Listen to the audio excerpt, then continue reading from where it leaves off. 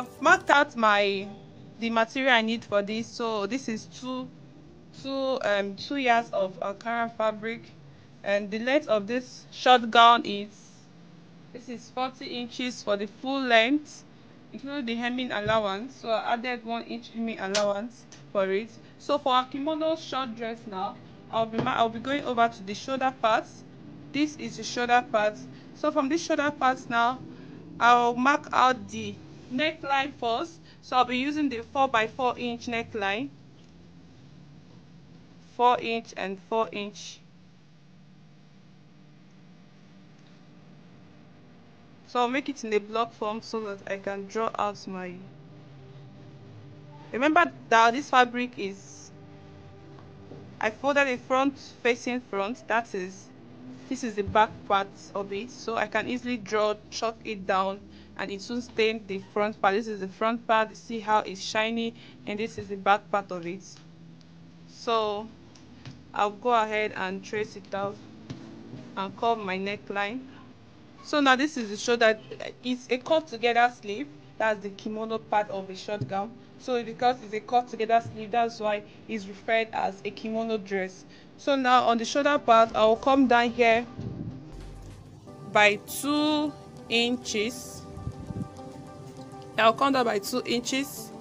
So i'll be joining this point to this point. Remember the the block this block pattern i got it because i used my hip measurement plus the inches i needed depending on how big or how full you want your dress to be. So if you want it fuller you can decide to make it two and a half inch three inch sorry two and a half years or three three years depending on how full you want your material or you want your short dress to to be. So now i'll be connecting this point to this point.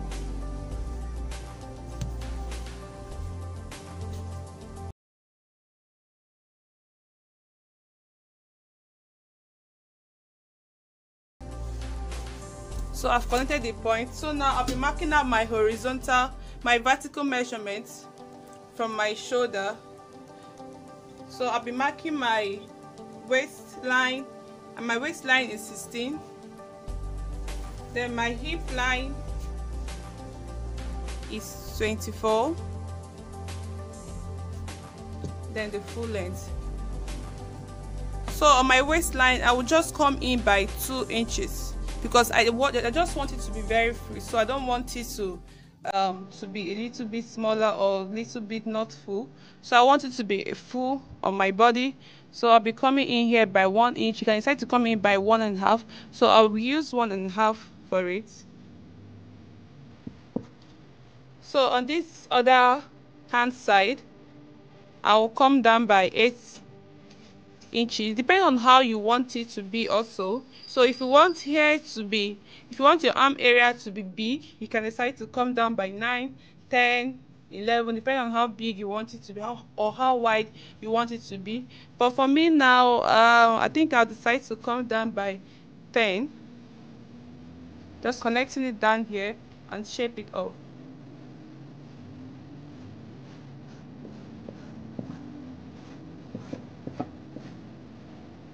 so this is just what i need for it as you can see it's very nice. So i'm just going to mark out this place and cut off this place and this next side. So you see how i'll do it now. First of all i'll cut out my neck my back neck. My back neck i'll be dropping uh, one and a half or two inch depending on your choice but i'll be dropping one and a half for my own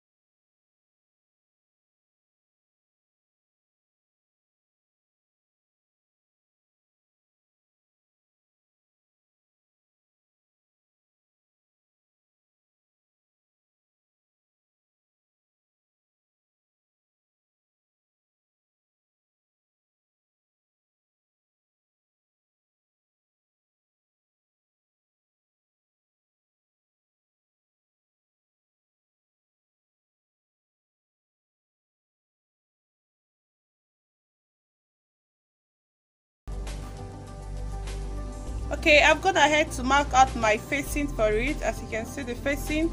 So this is my back pattern. This is my back um, the back of my dress. Then this is the facing for the back uh, as you can see. So now I'll go ahead and sew it. I will turn it out like this.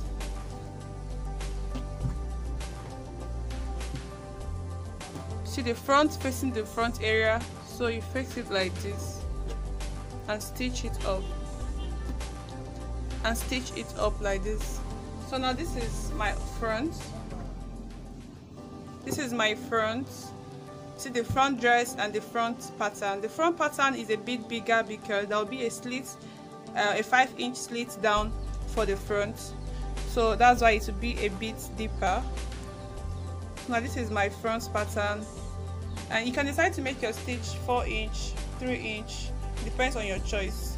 So now i will do the same thing but i'm not going to slant my own now I'm not going to slant my own now. When I'm sewing it, I will show you how I'll be able to slant it to make it easier and neater to make. So, some persons decide to sew in their own, join the dress. That's joining, joining the front to the back first before, then join the interfacing. That's the facing before joining to the dress. But I'll do my I'll I'll turn my front first before turning the back then joining it. You see how I'll do it then I'll get back to you. See I'm going to put the front sleeves so now I'll put it I'll place it front facing front both my facing and my front dress. So now I'll go in there by half inch center of that place at the center of this I'm going by half inch then I'm going to sew it on I'll sew it to the extent I want it to be. I want mine to stop by four and a half inch. So be using four and a half inch to sew it. Then if I get here, I'll stop.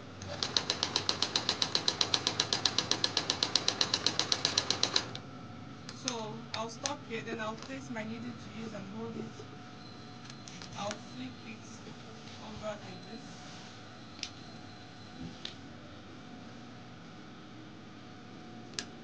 Then I'll continue.